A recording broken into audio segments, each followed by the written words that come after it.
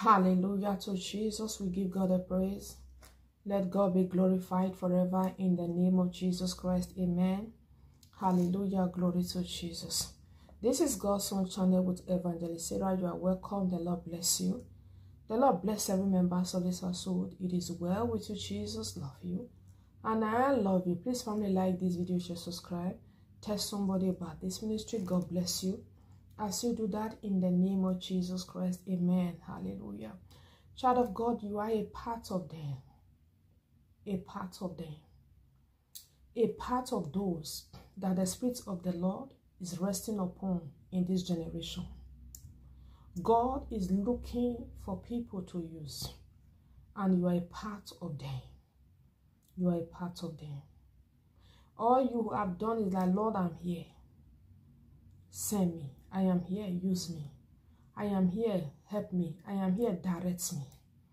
God is a God that can pour his spirit upon us. He said, I will pour out my spirit upon all flesh.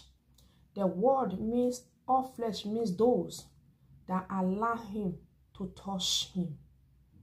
He will touch them. Yes, he said, I will pour out my spirit upon all flesh. Upon all flesh. Upon all flesh.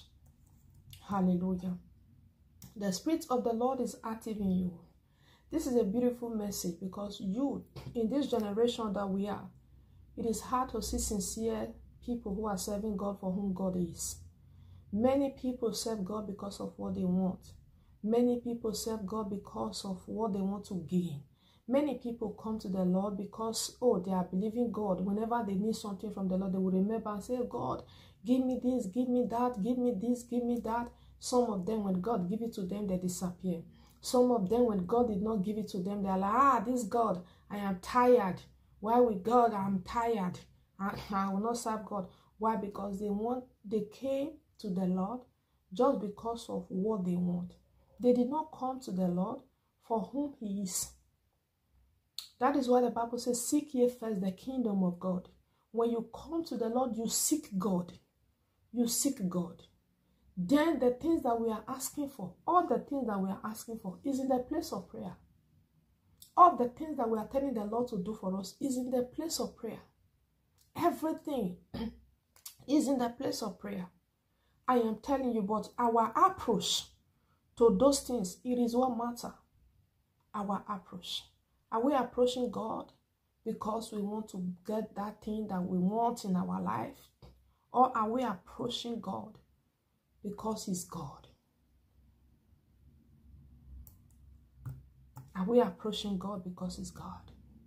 Somebody, you just said the Lord. This is what I hear. You are serving God because He's God. Every other thing you leave in the hands of God. You are serving God because He's God. Pray that the Lord will pour His Spirit upon you without measure. Without measure. Measure. God will pour His Spirit upon you without measure. You cannot serve the Lord in sincerity and be empty. When you serve God for whom God is, all that you need, that we are even struggling for, God have already released it in abundance. God have released everything that we are praying for in abundance. You are praying for marriages. How many marriages are on this earth? Uncountable. So God has released it in abundance. So you can still have your own.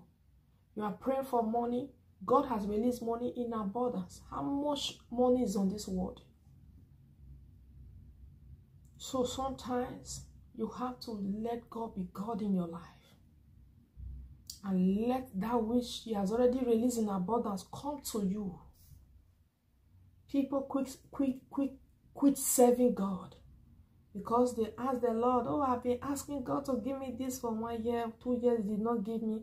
Ah, this your God, self, I'm going. Somebody call it my God one day. Ah, this your God. I said, mm, This way. Says, This your God.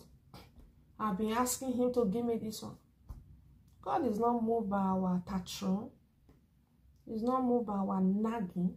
He's moved by our service and faith in him.